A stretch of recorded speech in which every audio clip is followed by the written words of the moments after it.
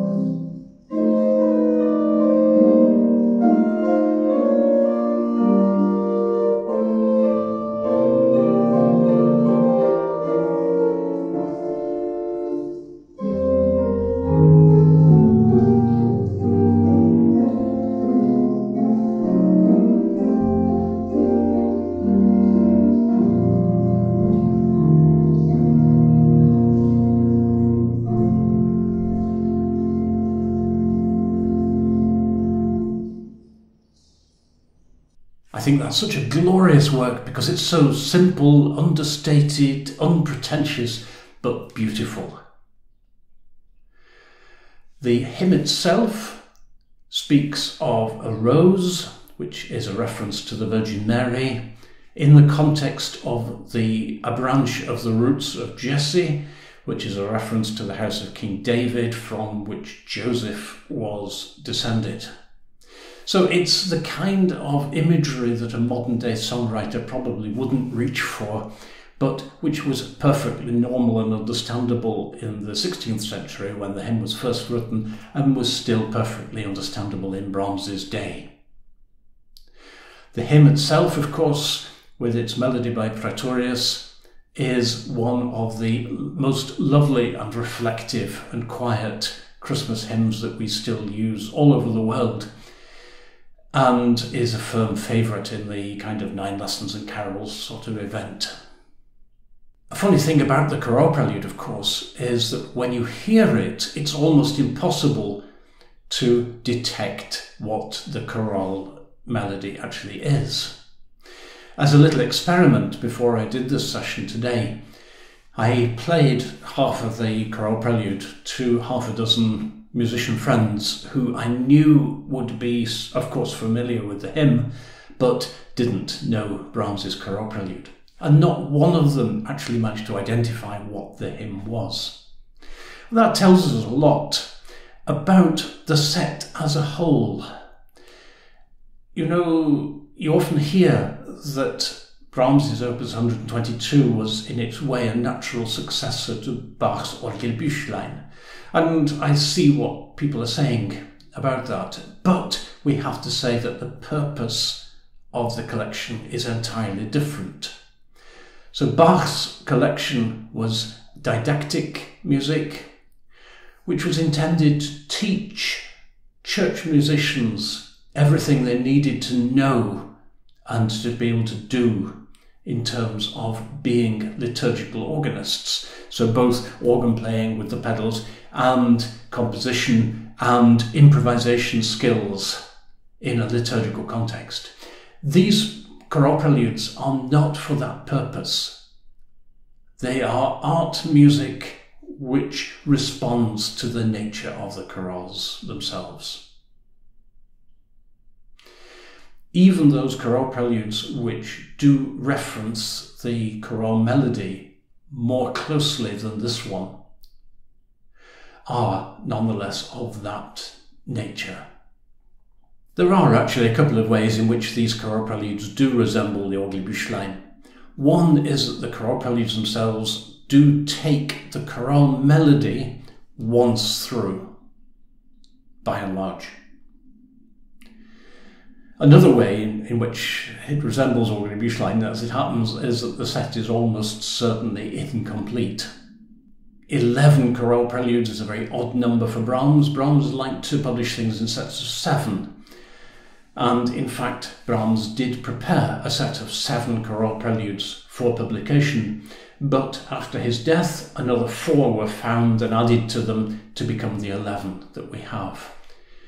What was Brahms intending? In all probability, Brahms was intending two sets of seven. So there are some missing or never written.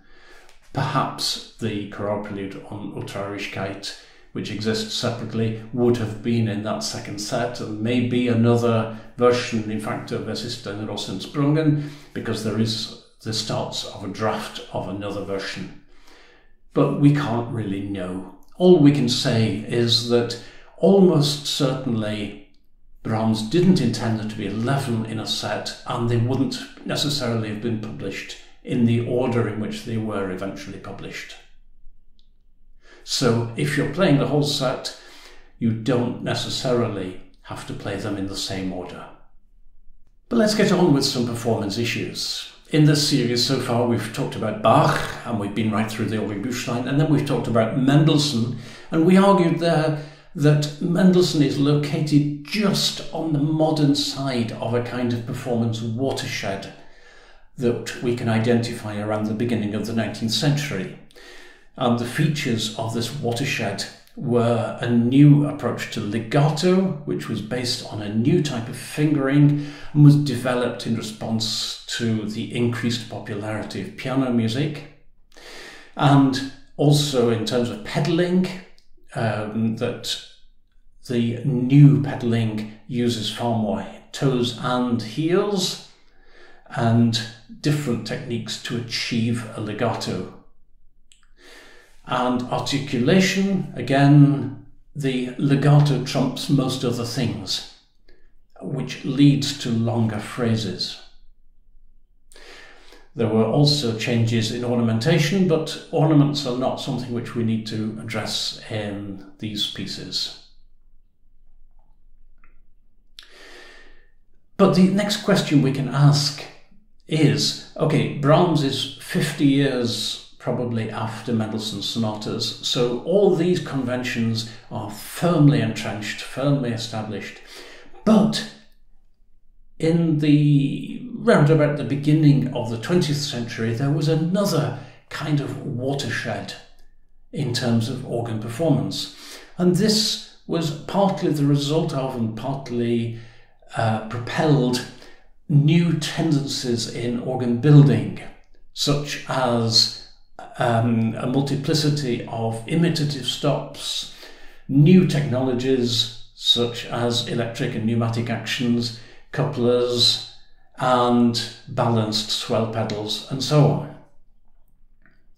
So when we think of Brahms, we think of high romanticism, and therefore we automatically tend to reach for the big cathedral organ of the 1920s and 1930s, what we think of as high romantic organ playing. But is this actually what Brahms would have expected? Well, let's just look back. What did Brahms grow up with, first of all? Oddly enough, he played organs by Hildebrandt. Now, Hildebrandt was an apprentice of Silbermann, took over in fact from Silbermann. So we're talking there Baroque organs rather similar to the organs that Mendelssohn played and grew up with. So certainly his background was in an entirely different type of instrument. But what happened later in his life? Well, as Brahms was in his very later years, he was involved in a big project to build an organ by Ladegast. I played recently the biggest Ladegast in Sachsen, I played a Mendelssohn program there, if I remember rightly. And this was a substantial three manual organ. And the tonal construction of the organ was, yes, it was romanticized from the 18th century, but at the same time, it would have been thoroughly recognizable to Johann Sebastian Bach, for example. So there was a full chorus range with both solid and good and round eight foot stops and upper work and mixtures in just the same way as we would expect from a classical organ. Interestingly, the organ had a swell division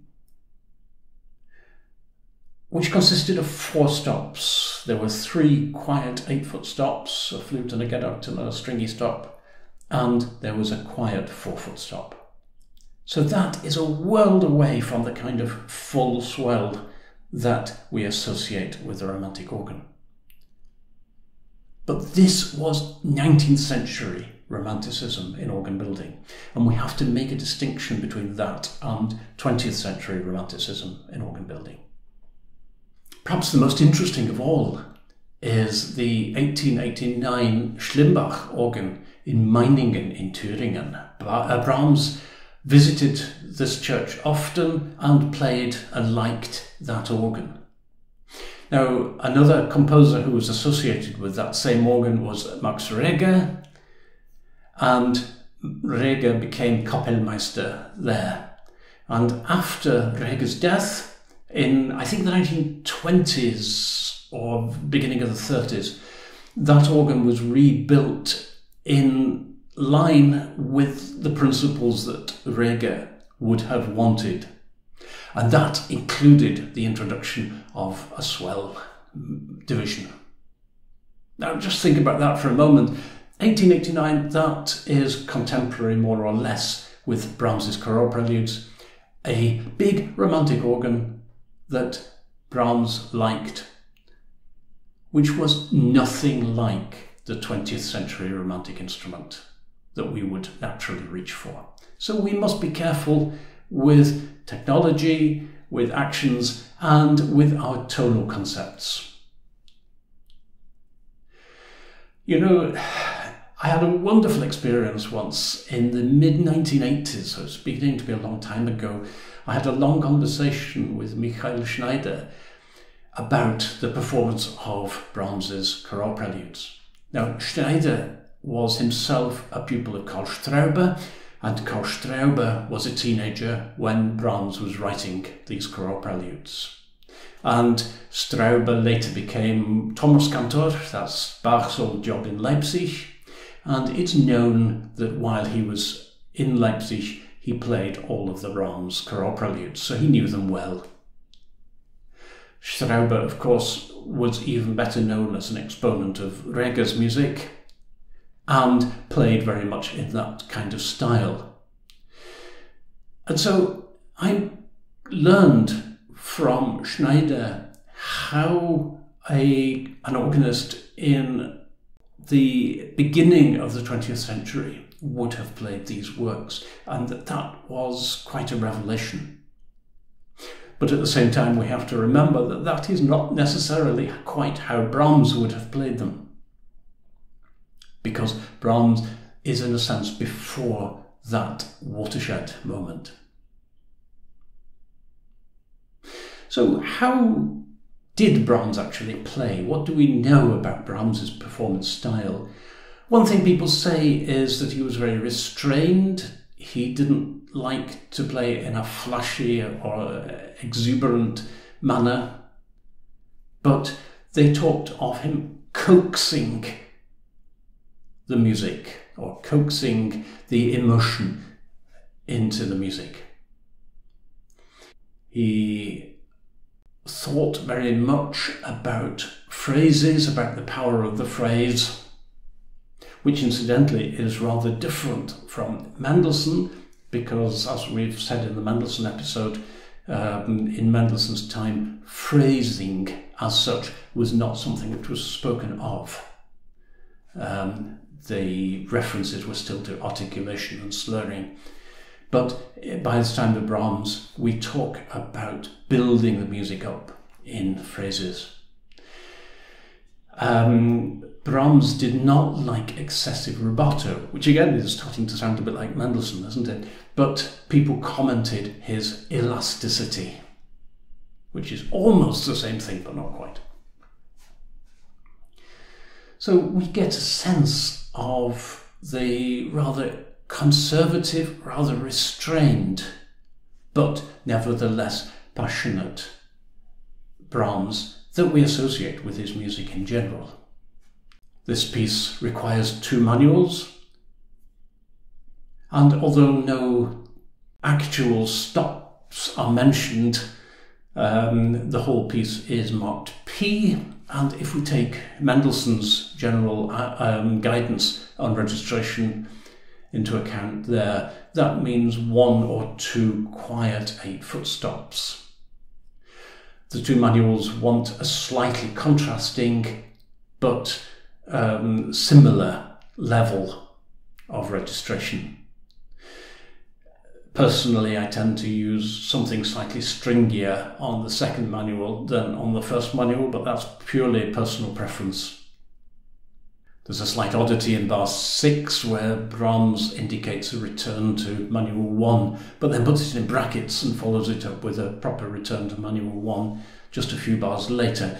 In all probability, he, well, I don't know if he changed his mind, um, but in any event, it works a lot better with the return to manual 1 a few bars later, and we just ignore the one in brackets just looking at how to weight those opening phrases, for example, it seems in this piece as though we need to be aiming for the ends of the phrases. So da da dee da dum da da dee da da rather than ta da dee da dum da da da da dum, and particularly where there is multiple repetitions. Um, certainly we don't want to be emphasizing each time. So in general, um, as we've talked about Brahms's phrasing, uh, we're we're looking at a phrase concept where we're looking towards the end of the phrases all the time in this piece and it needs just to gently flow inevitably onwards but all in all, it's a piece which I always say to the students just to play as it is. We don't need to do anything to it to make it effective. Just feel it and play it. And I, well, I hope that you love it as much as I do and will go away and uh, try it out.